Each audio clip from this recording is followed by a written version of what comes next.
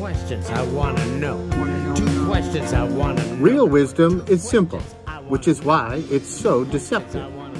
It's too easy to get distracted by technology and different little initiatives when you really want to focus on something that's more important to the organization as a whole. But rarely is it obvious. So we rely on people who can simplify and distill information for us.